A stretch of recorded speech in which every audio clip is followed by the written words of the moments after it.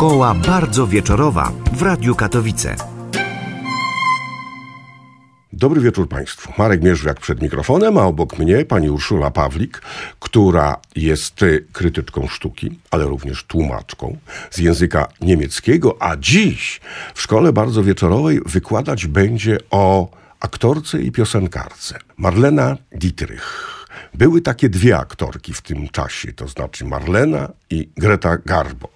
Niektórzy uwielbiali Marlenę, inni Gretę, bardzo zimną kobietę, ale piękną i wspaniałą aktorkę. A dla pani, która była większą aktorką? Wydaje mi się, że jednak Garbo do której ja mam bardzo określony stosunek, bo była to aktorka, która bardzo wcześnie zakończyła karierę. Poza tym była potwornie skąpa. Jej skąpstwo sięgało e, szczytów. No i jeszcze do tego, jak mówią, zaprzyjaźnieni z nią ludzie. Nie bardzo lubiłam mydło i wodę, a skąpa była do tego stopnia, że jak pływała w basenie, to pływała nago, bo szkoda jej było na kostium kąpielowy. No, wie pani, w sumie to nie jest zły nawyk, ale przy okazji się myła. Zostawmy jednak Gretę Garbo. E, ja ją pamiętam z takiego filmu Królowa Krystyna. Krystyna, słynny film. No, właśnie, ale my skupmy się dziś na Marlenie Dietrich. To była aktorka, jak powiedziałem, piosenkarka, która wywodziła się z takiej dość bogatej rodziny. Urodziła się 27 grudnia 1901 roku w Schonenbergu, a zmarła w Paryżu 91 lat później.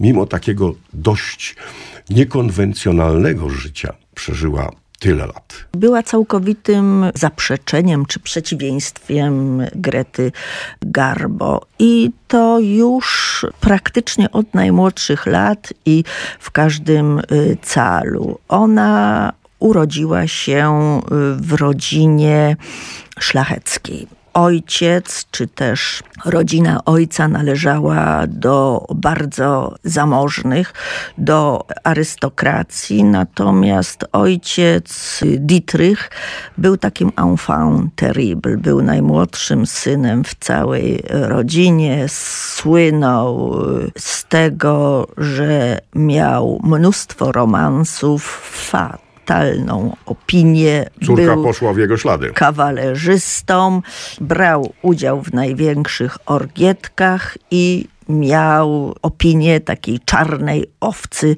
w towarzystwie albo tym, co się określało towarzystwem w Berlinie sprzed I wojny światowej, czy też przełomu wieków. No, ojciec był zirytowany, bo bez przerwy groziło synalkowi to, że go wyrzucą z tego elitarnego oddziału kawalerzystów i jak ta groźba stała się bardzo realna, kazał mu się ożenić ale no nie sposób było znaleźć pannę z kręgów arystokratycznych, w związku z tym poszukano w tak zwanych niższych warstwach i wydano syna za córkę bardzo znanego, bardzo bogatego jubilera. I z tego związku urodziły się dwie dziewczynki, starsza Elżbieta, Elizabeth i młodsza Maria Magdalena, bo takie imię nosiła Marlena. Ona już w wieku 8 lat skróciła to imię, bo w Niemczech jest taki zwyczaj, że jak jest podwójne imię, to było imię podwójne pisane z łącznikiem, to dzieci czy osoby dorosłe mianuje się, czy zwraca się do nich dwojgiem imion. Franciszek, Józef, Maria, Teresa, Rudolf, Peter, żeby tylko tak parę imion z tych panujących przyłączyć. No i Maria Magdalena to było za długie. Po niemiecku to się wymawia Marii Magdalene, czyli ona z tego zrobiła Mar, Lene, pierwsze trzy litery swojego pierwszego imienia i ostatnie litery drugiego. I w ten sposób w wieku 1908 narodziła się Marlene Dietrich. Jakim była dzieckiem niepokornym, pełnym temperamentu, uzdolnionym i bardzo kochliwym.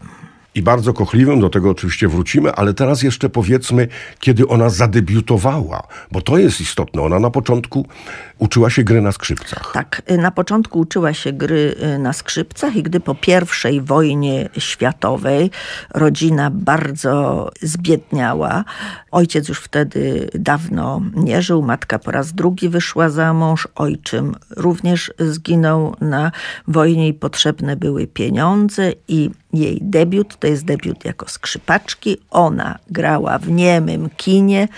W orkiestrze to byłoby za dużo powiedziane, bo tylko te wielkie kina, najbardziej prestiżowe, do filmów przygrywała duża orkiestra, a tak były to mniejsze, większe zespoliki, czasami jeden muzyk albo pianista, albo rzadziej skrzypacz czy skrzypaczka. I ona grała w takim maluteńkim zespole, jedni twierdzą, że to był tercet, dla innych to był kwartet. Inne podania mówią, że to była orkiestra sześcioosobowa, między innymi ona w swoich pamiętnikach, które zostawiła, które liczą 450 tysięcy stron. 450 tysięcy stron. Państwa. Ale, e, panie Marku, znaczna część tych pamiętników to jest lista jej kochanków i kochanek z opisami ich cech i tych momentów, które ją zachwyciły. Ale e, wracając. Czyli czyta się je z wypiekami. Tak jest, ale być może się czyta je z wypiekami, bo jeszcze nie wszystkie są udostępnione, bo część mogła być udostępniona 20 lat po śmierci Marleny, druga część 50, trzecia 70, czyli jeszcze mamy y, sporo czasu. Ale bo przypomnijmy wracają... tylko, że zmarła w 1992 roku.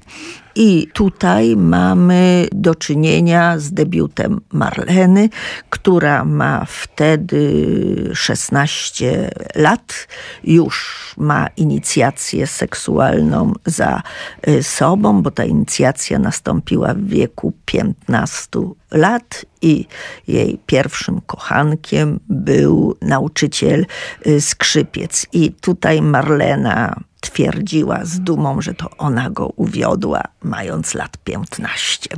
Nie był to jej pierwszy wybryk tego typu, bo została wysłana do szkoły z y, internatem w momencie, jak matka nakryła ją w wieku 13 lat, namiętnie całującą się z kolegą, nie z klasy, bo to ona chodziła do szkoły żeńskiej, ale z elitarnej szkoły męskiej, która znajdowała się tuż za rogiem. No, ten debiut, czy też ta praca w orkiestrze, w mini orkiestrze, nie trwa za długo. Romans z szefem orkiestry natomiast trochę czasu przetrwał i Marlene decyduje się na zapisanie się do szkoły aktorskiej.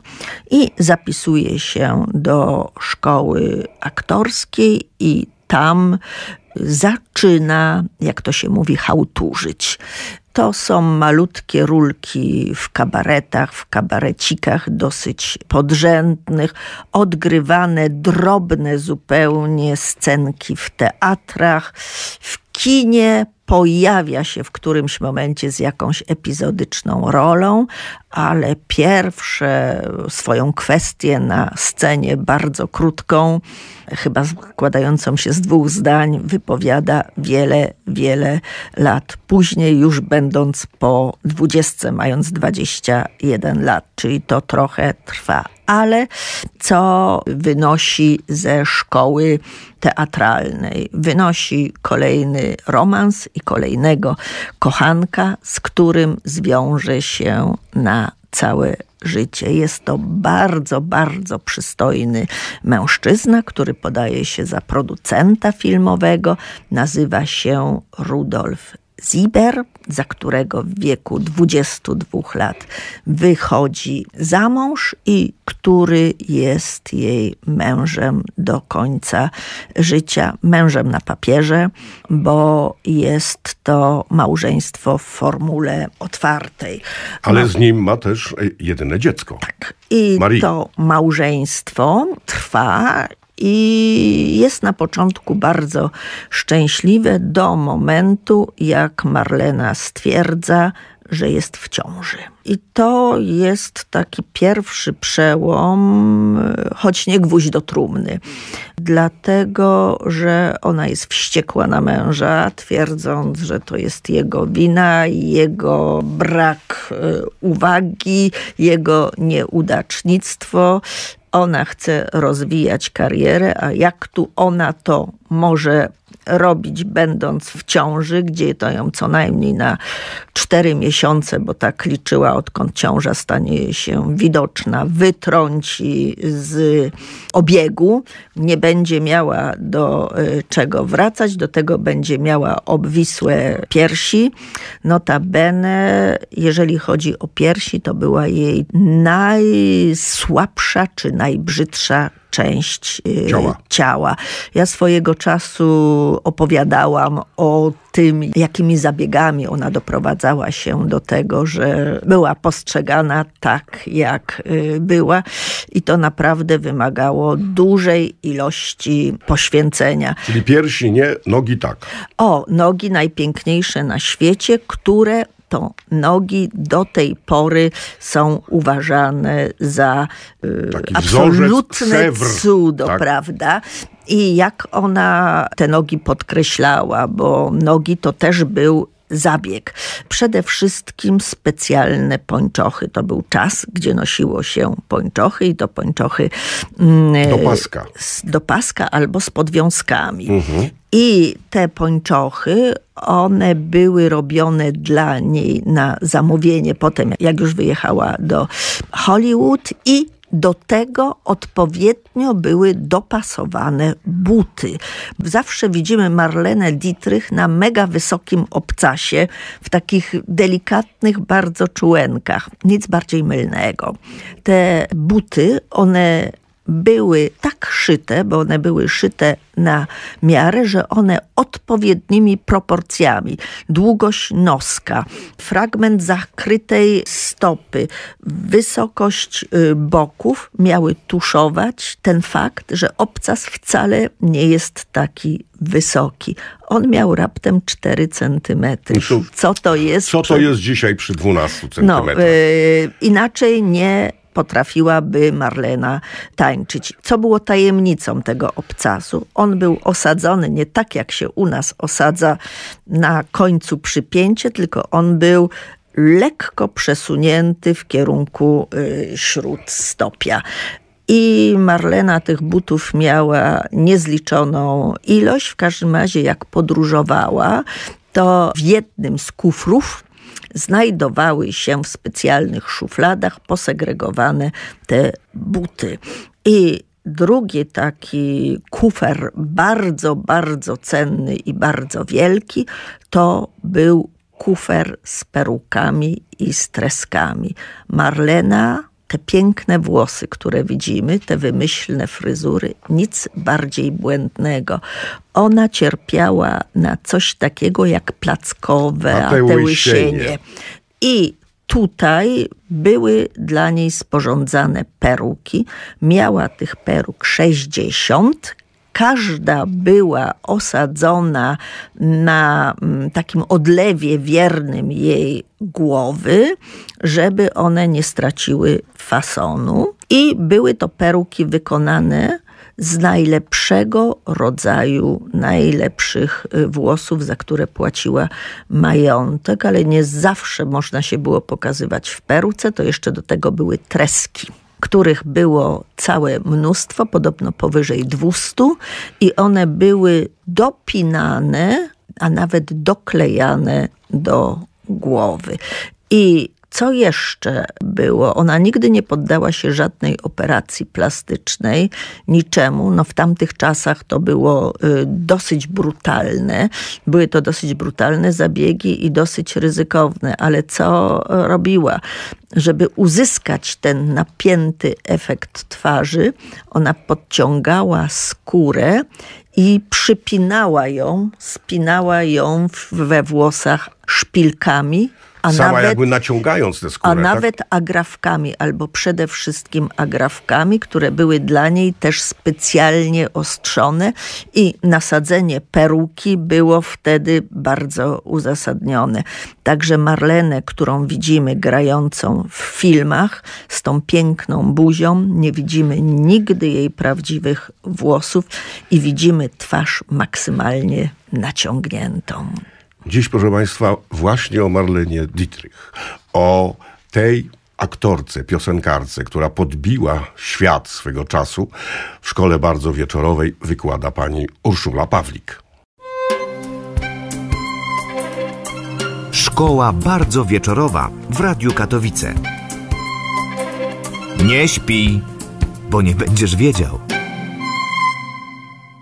Ale teraz chciałbym, żebyśmy powiedzieli o jej wspaniałym debiucie, o roku 1930, kiedy na ekrany wchodzi film Błękitny Anioł i wszyscy są zachwyceni jej urodą, jej śpiewem i tym, jak zagrała.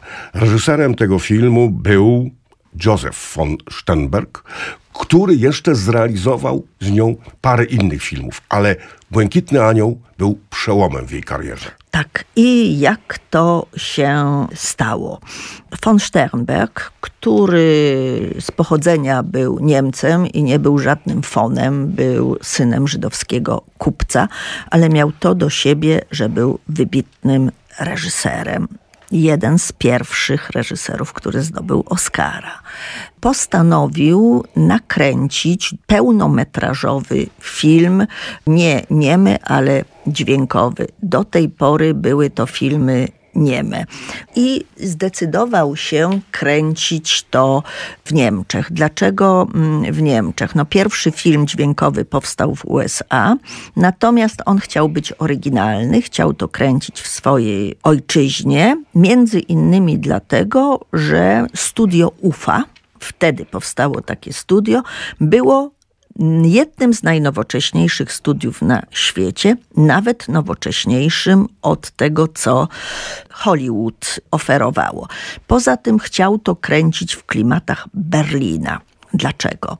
Chciał zekranizować jako pierwszy na y, świecie w konwencji filmu dźwiękowego wielkie dzieło literackie powieść.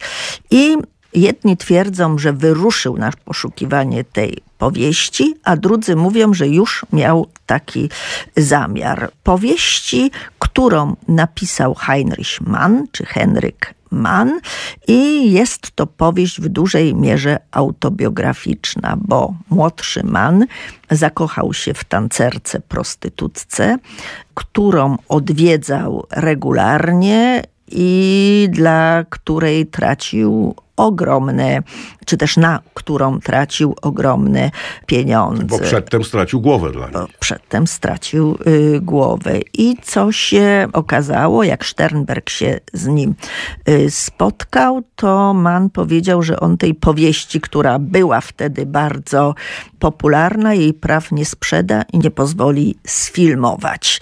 No, ale Sternberg zatrudnił detektywa, i podszedł y, Mana tym sposobem, że dowiedział się, jak straszny Man ma długi i jak bardzo boi się do tych długów Przyznać, tak? przyznać przed rodziną. A mama była taka bardzo mm, stanowcza, ojciec już dawno nie żył Manów. No i Sternberg zaproponował mu, że kupi od niego prawa do ekranizacji i da mu na tyle pieniędzy, że spłaci wszystkie długi, jeszcze będzie mógł żyć y, wygodnie. I man wtedy powiedział: Dobrze, ale pod jednym warunkiem, mianowicie jakim, że główną rolę Loli zagra właśnie jego kochanka. Sternberg powiedział, a dobrze, nie ma co się w tej chwili spierać, przyjdzie czas, przyjdzie rada, tym bardziej, że widział panienkę na scenie i ona zupełnie nie miała mm, talentu. No, ale brak było głównej aktorki. Główny aktor już y, był, ja w tej chwili nie pamiętam jego y, nazwiska, ale był to pierwszy zdobywca Oscara za główną męską rolę. Tym aktorem był Niemiec. I tutaj zaczyna się casting. Żadna aktorka nie pasuje do roli, którą miał w głowie.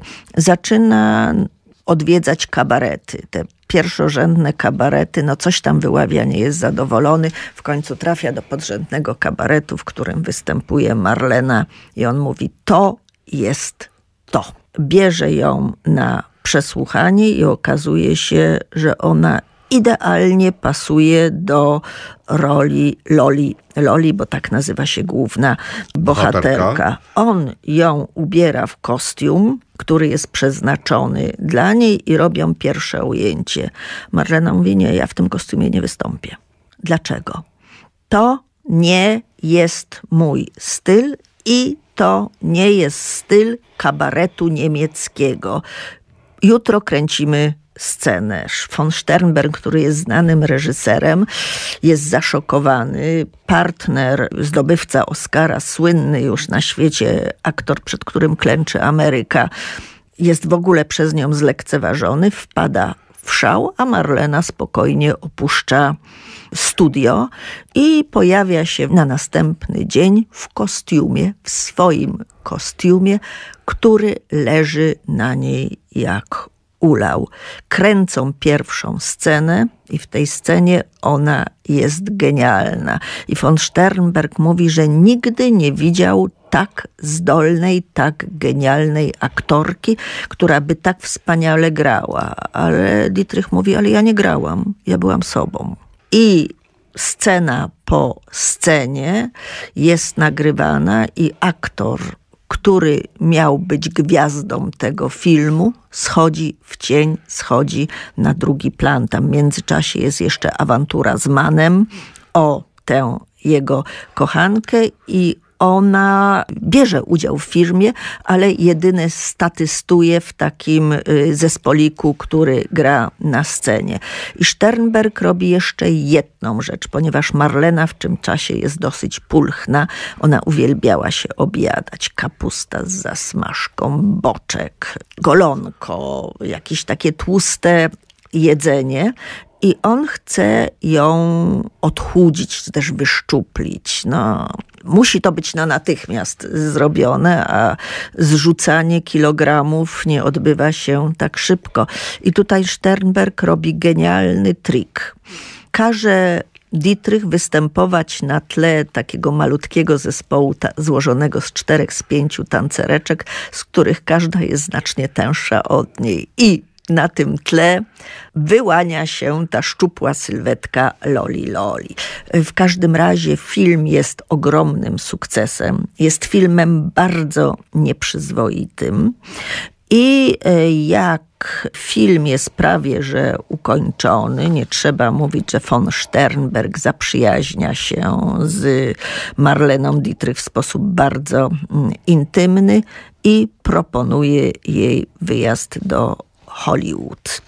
Ona mu mówi: Dobrze, ale na moich warunkach. Co to znaczy? No, ja wyjadę po premierze filmu, który odbywa się w Odeonie, w takim czołowym kinie bardzo eleganckim niemieckim i po premierze każe podstawić przed kino ciężarówkę. Na platformie tej ciężarówki jest pianino, ona siada na tym pianinie tak jak siadywała Lola. Pianino razem z ciężarówką, czy ciężarówka razem z pianinem po premierze filmu jedzie na dworzec, gdzie czeka już pociąg, który ma ją zawieźć do Hamburga, skąd ma odpływać do Hollywood i ona cały czas śpiewa tą główną partię Loli. Za nią postępuje tłum wiwatujący i to jest wielkie pożegnanie z Dietrich z Berlinem, do którego tak na dobre jako aktorka już, już nie, wróciła. nie wróciła. To był jej debiut. To był jej debiut, debiut, gdzie rzuciła wszystkich, Wszystkich na na kolana. kolana, grając siebie, jak mówi. No a co z mężem i z dzieckiem? Tu jakoś nie ma żalu i oporów zostawić męża. Mąż jest bardzo troskliwym ojcem.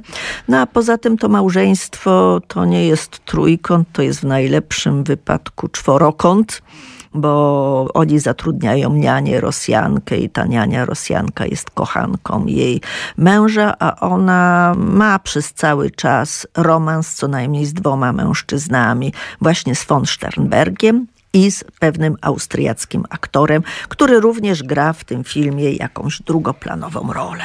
No właśnie, ona wyjeżdża do Stanów z Józefem von Sternbergiem i tam kręcą Maroko. Następny film. Następny Bo genialny film. Sternberg kilka filmów jej reżyserował i my te filmy znamy, bo to jest przecież i Lili Marlene, i Świadek Oskarżenia, i jeszcze wiele, wiele innych. Ona zdobywa świat. Tak. I zdobywa, będąc w Hollywood, ona stwierdza, że musi zmienić swój wizerunek. A raczej Sternberg ją y, Czyli zmusza. jak dzisiaj byśmy powiedzieli, image, tak? Image, do zmiany tego wizerunku. Przede wszystkim musi zrzucić 30 kilo.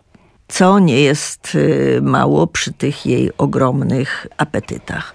Niemniej y, zrzuca to strasznie cierpiąc. Jest nawet taka słynna dieta Marlene Dietrich, której się mówi, że to jest na śniadanie, na obiad i na kolację to prawie, że to samo na śniadanie jest to sok grejpfrutowy w temperaturze pokojowej, na obiad jest to sok grejpfrutowy podgrzany, sprawiający wrażenie zupy, a na kolację jest to sok grejpfrutowy z lodem.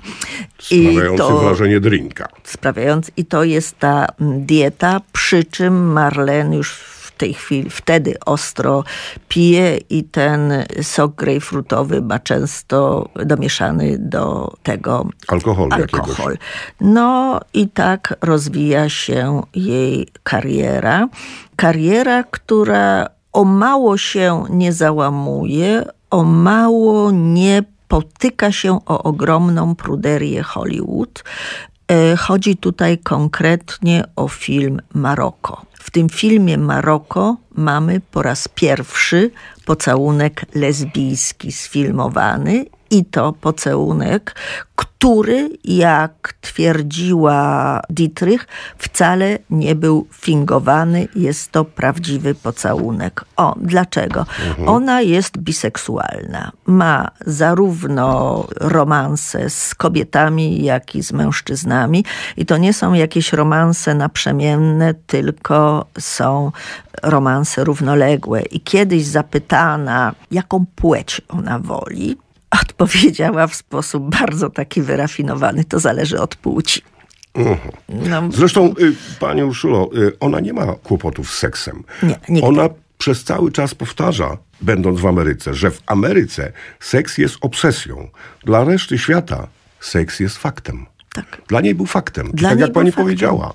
Prawda? To wszystko zależy od płci. Tak, to wszystko zależy od y, płci i ona sobie nie folguje, ale ponieważ cały czas małżeństwo trwa z Ziberem, ona zachowuje pewne pozory. Ona jest, jakby nie było, wychowana w rodzinie arystokratycznej, bardzo pruderyjnej, z matką, która bardzo dbała nie tylko o maniery dziewcząt, ale o to, żeby może nie dobrze się prowadziły, ale zachowywały jak należy. A do tych zachowań jak należy, należy zachowanie dyskretne. I ona mając tych y, swoich kochanków, których z reguły przyjmuje w swojej willi w Hollywood, względnie ona też ma willę nad oceanem. Jest żelazna zasada. Nikt nie może widzieć, że mężczyzna wchodzi do jej sypialni i sypialnię ma opuścić w sposób niezauważony. Także bardzo jest dyskretna w tym zachowaniu pozorów, bo świat tak czy tak wie wszystko o niej, no nie sposób opędzić się od y, niedyskretnej służby. Niemniej nikt, żaden reporter nie nakrył żadnego kochanka opuszczającego jej dom w jakichś takich y, podejrzanych porach. Ale tych kochanków zmienia jak rękawiczki. Kochanków zmienia jak e, rękawiczki chyba na zasadzie mężczyznę trzeba trzymać krótko, a krótko to nie znaczy długo, prawda? Żeby zacytować klasyka. I tutaj jest sprawa mm, tego rodzaju, że to są nie tylko kochankowie, jacyś tacy drobni, ale są to prawdziwe tuzy. Jej wielki romans z Remarkiem, gdzie Remark jej naprawdę dużo y, zawdzięcza. Jak ona kocha, to ona kocha całym sobą. Remarka poznaje podczas któregoś z pobytów w Paryżu. On już jest w tym momencie, to jest czas nazistowskich Niemiec. Remark opuścił Rzeszę, zresztą tam nie miał specjalnie szans, bo nie był ceniony przez nazistów jako pisarz, szczególnie po napisaniu tej swojej słynnej antynazistowskiej powieści Rodzeństwo Operman, która w Polsce chyba ukazała się tylko jeden raz w 49 czy w 50 roku przejmująca książka, moim zdaniem jedna z najlepszych i Remarkowi udaje się wywieść z Niemiec jego ogromną kolekcję obrazów. Remark jest naprawdę kolekcjonerem no, i ma wspaniałe dzieła sztuki. I Marlene, związana z, w owym czasie z jednym z polityków francuskich, umożliwia wywiezienie tych obrazów. W jaki y, sposób? Ona ma zawsze ogromną garderobę. Podobno jej bagaż rzadko kiedy miał poniżej 300 kg, a szczytem to jest prawie tona, jak się, jak się mówi, co ja uważam, że jest przesadzone. Podróżuje wyłącznie statkami, to jest czas podróży statkiem, każe opróżnić swoje kufry i markuje swój wyjazd do Stanów, gdzie pakuje w te kufry obrazy Remarka. Jak wiadomo, żaden celnik nie skontroluje bagażu wielkiej diwy. One zostają po prostu załadowane na statek, ale żeby zachować pozory, do Hollywood jedzie jej mąż, ciągle aktualny, mhm. Rudolf, Rudolf razem, z, razem z córeczką z Marią, no i towarzyszy im niania, zarazem kochanka męża, a ona markuje spóźnienie się na statek. Dokładnie trafia na wybrzeże w momencie, jak statek odbija i już nie da się go zawrócić, bo holowniki ciągną go y, z portu. No, ten romans trwa jeszcze jakiś czas w Stanach Zjednoczonych, bo udaje jej się załatwić paszport, y, nie paszport, ale wizę amerykańską Remarkowi tam przez jakiś czas są kochankami.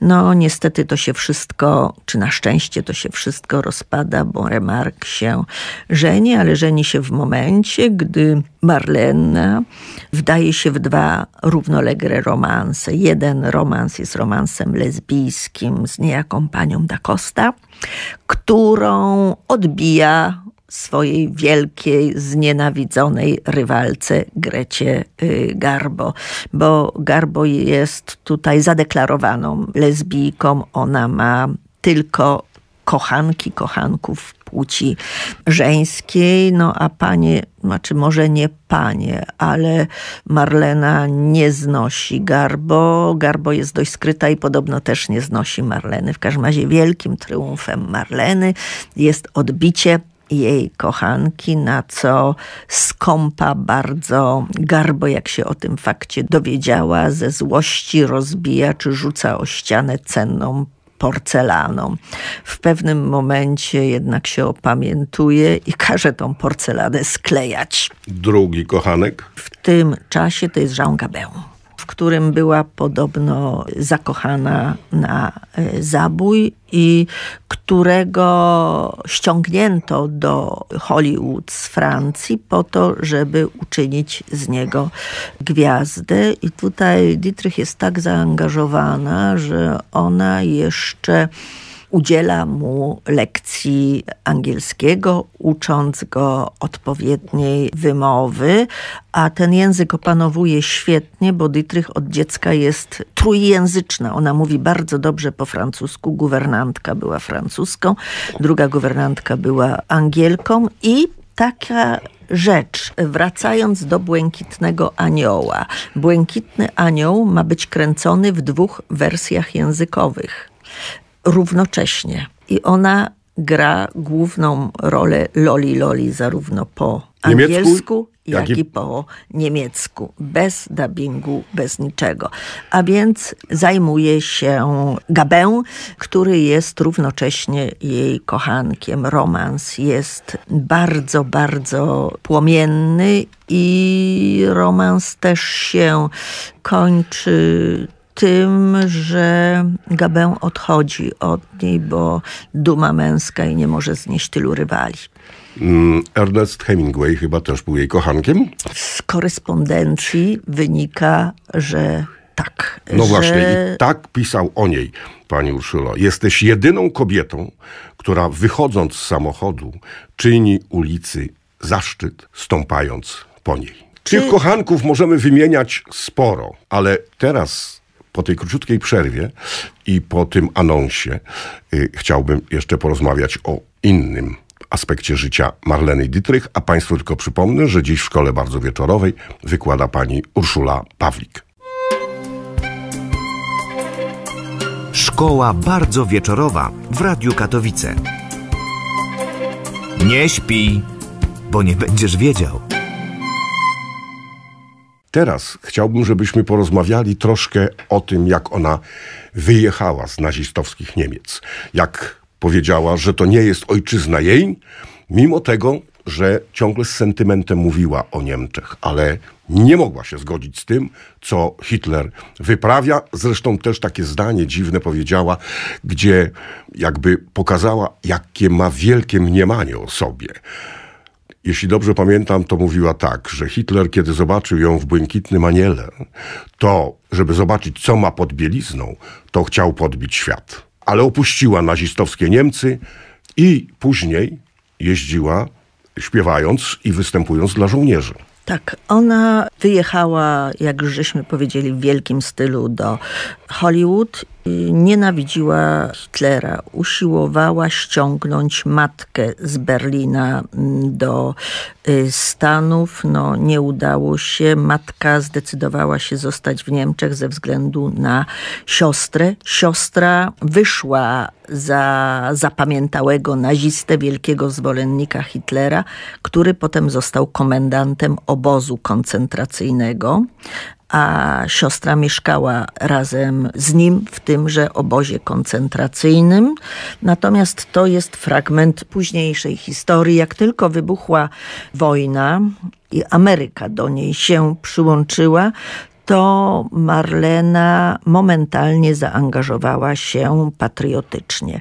Na czym to polegało? Odwiedzała obozy i poligony, gdzie przygotowali się y, żołnierze amerykańscy, rekruci do wyjazdu na front, gdzie zrobiła wielką ilość koncertów dobroczynnych, gdzie wszystkie fundusze przekazała na rzecz tych żołnierzy, a potem jak oni systematycznie ginęli na fundusz wspierania sierot. Mało tego, udała się na front. I to nie w momencie, jak już było pozamiatane, jak to się mówi, ale było to bardzo krótko po lądowaniu w Normandii i ona szła tuż za tym frontem, występując bardzo często za sceny, czy w niewielkiej odległości słychać było odgłosy armat, śpiewała, występowała, podtrzymywała tych y, Żołnierzy młodych na ludzi na duchu i to się nie kończyło tylko na występach, ale ona odwiedzała też tak zwane lazarety czy szpitale dla rannych i tam rozmawiała z nimi. Jest nawet taka historia, która nie jest opisana przez nią, ale przez jednego z lekarzy, którzy byli zaskoczeni postawą Marleny. Ona była po koncercie, jeszcze nie rozebrana z, tej swoich, z tych swoich takich błyszczących, bardzo charakterystycznych sukien i witała się z żołnierzami i natrafiła na młodego chłopca, bardzo ciężko rannego, nad którego łóżkiem się pochyliła. On się pyta, czy to jest sen, czy to jest naprawdę pani.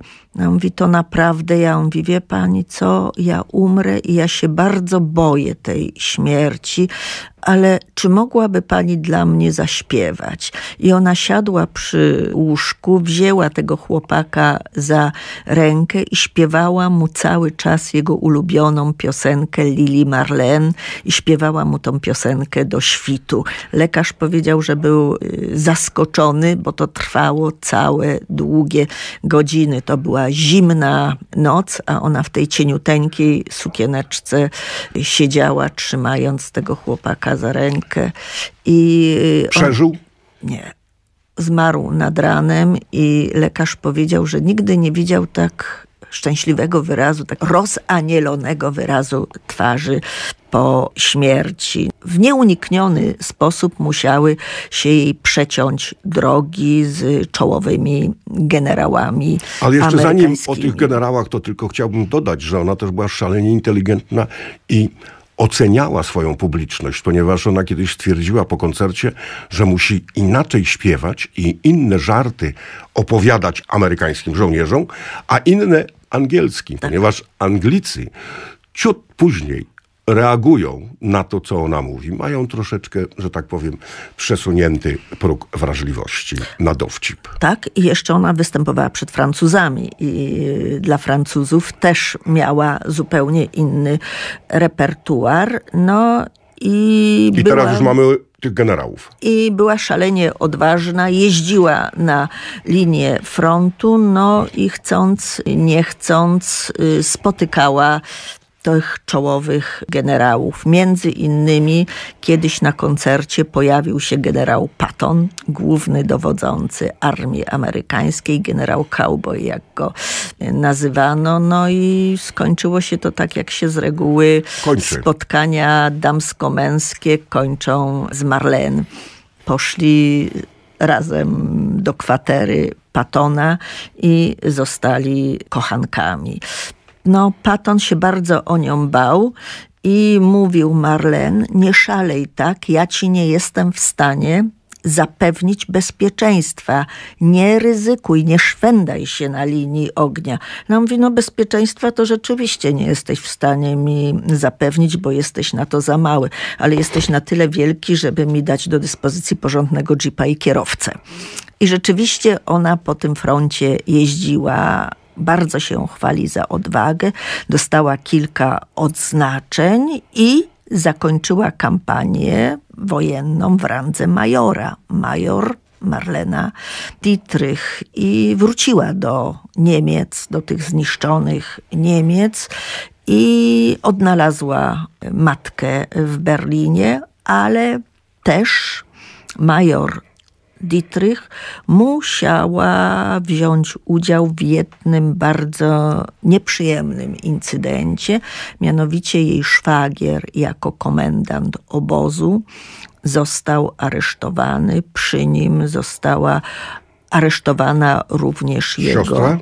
jej siostra, jego żona i znaleźli u nich ogromne ilości zrabowanych y, futer, ogromne ilości biżuterii, złota I w pewnym momencie groziło im y, więzienie, groził im proces, i wtedy Elizabeth, bo tak właśnie się nazywała siostra, powiedziała, że ona jest siostrą słynnej Marleny y, Dietrich. I Marlenę Dietrich ściągnięto do zidentyfikowania siostry. Ona dotarła do tego miejsca, gdzie oni byli aresztowani i komendant, czy też najwyższy rangą y, oficer amerykański ją y, przyjął, zaprowadził ją do pokoju, gdzie miała zidentyfikować y, siostrę i szwagra. Ona powiedziała tyle, tak, to jest pan taki i taki, a to jest moja siostra, czy ja mogę z nią porozmawiać? No i udała się z nią, tu już jest relacja z pamiętników do osobnego pokoju i zadała jej pytanie, dlaczego to wszystko robiłaś, dlaczego zostałaś z nim, dlaczego? Obóz koncentracyjny, jesteś przecież współodpowiedzialna za to, co się działo. Siostra powiedziała, nie, Myśmy tylko wykonywali rozkazy, a poza tym to byli tylko Żydzi.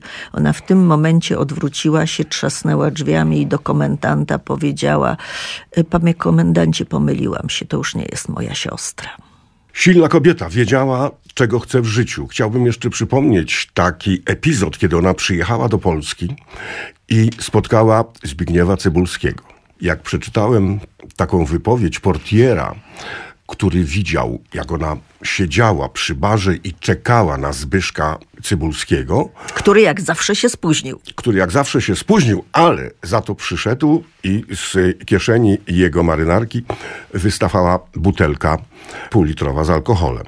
I ten portier później opisał, że no, wynieśli się do pokoju Marleny i tam spędzili ze sobą noc, kilka razy prosząc o dostarczenie alkoholu. Kiedy się rozstali, to Zbyszek podobno miał zadzwonić do Marleny i ona miała mu ułatwić karierę na zachodzie. Ale jak to Zbyszek? Nie wiem. Może był pod wpływem, a może zapomniał. Kiedy zadzwonił, już Marlena się nie odezwała i kariera na zachodzie przeminęła z wiatrem. On pojechał do Paryża, był kilka dni w Paryżu, dzwonił do niej bardzo intensywnie. Za każdym razem odbierała telefon jej sekretarka, i nie dodzwonił się jak niepyszny, wrócił z powrotem, ale to nie była jedyna miłość, y, czy też nie jedyny romans jeżeli to był romans, bo Cybulski nigdy się na ten temat nie wypowiedział, natomiast ona w tych swoich pamiętnikach tak. Drugim romansem to był ostatni ambasador Polski przed II wojną światową w Niemczech, który y, do Polski nie wrócił, który walczył czynnie w armii y, angielskiej i oni się spotkali, jak ona objeżdżała z występami po tych poszczególnych jednostkach. I nigdy nie wymieniła jego nazwiska, powiedziała polski ostatni ambasador, wtedy major i że z majorem, mając y, tylu kochanków, przeżyła najbardziej czułe noce swojego życia. Pani Urszulo, jakbyśmy mogli podsumować to nasze dzisiejsze spotkanie, to co moglibyśmy powiedzieć o Marlenie Dietrich? Że ona była piękną kobietą, bez wątpienia, mimo tego, że naciągała sobie skórę i chodziła w perukach. Mm, wspaniałą aktorką, świetną piosenkarką i była też wielką patriotką, mimo że nienawidziła ludzi, którzy zniszczyli jej ojczyznę, Niemcy. Nienawidziła nazistów, tak, nie wyrzekła się siostry. E, była kobietą bardzo trudną do osadzenia w jakichkolwiek ramach. Ona się wymykała Tak, z jednej strony świetna aktorka, z drugiej strony tyran, alkoholiczka, toksyczna matka. Kobieta, która każdemu zatruła życie, kto był blisko niej. Mąż, którego permanentnie zdradzała i którego utrzymywała do końca życia, po którego śmierci bardzo rozpaczała. On nie pozostawał jej dłużny. On nie pozostawał jej dłużny. Formuła małżeństwa Otwartego. otwartego. Mąż, który został na zawsze jej przyjacielem i którego raczyła szczegółowymi opowiadaniami o swoich romansach i u którego zasięgała rad w odpowiednim momencie zeszła ze sceny, czyli też miała ten instynkt zachowawczy. Chciała, żeby świat zapamiętał ją piękną, nieskazitelną, nieosiągalną, mimo że tak naprawdę była osiągalna dla każdego przystojnego chłopa. No tak, ale ona też potrafiła formułować fantastyczne takie złote myśli. Ja tylko może na zakończenie naszego spotkania przytoczę. W dwóch wypadkach ludzie absolutnie nie wierzą żadnym tłumaczeniom. Gdy mężczyzna wyjaśnia, skąd ma podbite oko, a kobieta nowe futro. Albo coś takiego. Większość kobiet czyni wszystko, by ich mężczyzna stał się inny. Gdy już się staje, przestają go kochać. No i wreszcie też taka ciekawa myśl. Kobiety dzielą się na dwie kategorie. Na roztrzepane, które zawsze gubią rękawiczki i na uważne, które zawsze jedną przynoszą do domu. Ona chyba zawsze przynosiła do domu jedną rękawiczkę. I może tak jeszcze jedna jej złota myśl. Pod względem moralnym mężczyzna pozostaje dłużej mężczyzną niż kobieta kobietą. I na tym, proszę Państwa, skończymy dzisiejsze spotkanie z Marleną Dietrich, o której to piosenkarce, aktorce, no, wydaje mi się, bardzo ciekawej kobiecie opowiadała w szkole bardzo wieczorowej pani Urszula Pawlik. Marek Mierzwiak, kłaniamy się Państwu. Audycję zrealizował Marian Guzowski. Szkoła bardzo wieczorowa w Radiu Katowice.